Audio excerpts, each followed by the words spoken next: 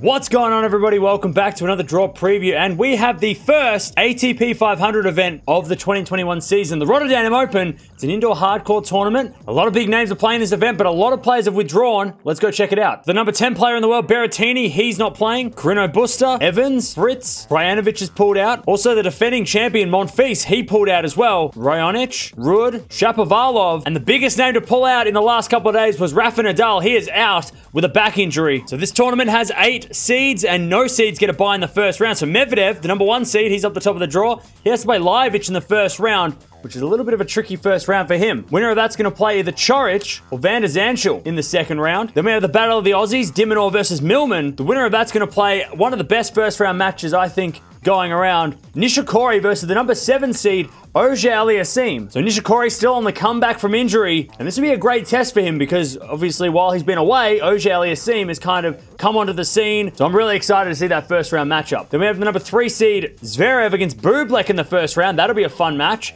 Winner of that's going to play either Paul or Sonego in the second round. Then we have a qualifier versus Opelka in the first round. The winner of that's going to play a Spanish player in the second round, either Fokina or the number five seed, Bautista Agut in the second round. So RBA, he's currently playing a tournament at the moment, so he's going to have to run over to Rotterdam really quickly to play his first round match. Bottom half of the draw now, we have David Goffin, the number six seed, he versus Struff in the first round. Winner of that's going to play either a qualifier or Humbert in the second round. Then we have Battle of the Wild Cards, Haas versus Murray. Andy Murray still looking to get some form after a disappointing comeback last week. Winner of that's going to play either a qualifier or the number four seed Rublev in the second round. So Murray versus Rublev, that would be a great test for both players. Great test for Rublev against a Grand Slam champion. Great test for Murray against one of these next-gen guys, top 10 guys. Then we have the number 8 seed, Wawrinka versus Khachanov in the first round. Another great first-round matchup. Winner of that's going to play the Basilashvili or a qualifier in the second round. Then we have Hurkacz versus Mannarino. The winner of that's going to play either Gerasimov or the number 2 seed, Tsitsipas, who has now had time to recover since that epic match he played against Rafa and also the match against Medvedev at the semi-finals of the Australian Open. He's had time to relax now, so he should be feeling good going into this tournament. But again, even though Rafa's not playing,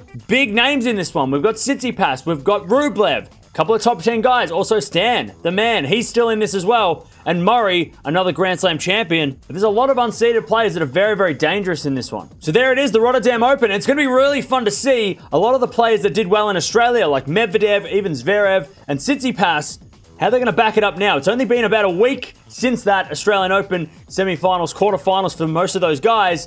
Let's see how they do now. Let me know down in the comments below who you think's going to win this tournament. It's very wide open in my opinion. So in terms of predictions, it's a very tough tournament. There's a lot of unseeded players, but of course we've got a lot of top 10 guys as well and Grand Slam champions. But I think I'm going to go with number two seed Tsitsipas in this one. I know that Medvedev and Zverev are great indoor players, but Tsitsipas, I feel like he reached a new level last week against Rafa. Then he ran out of gas against Medvedev in the semi-finals of Australia, but I think he would have recovered now. I'm going to go with Tsitsipas for this one. Let me know down in the comments below who you think's going to win this tournament. So Rafa's not playing Rotterdam, but it's still a stacked draw.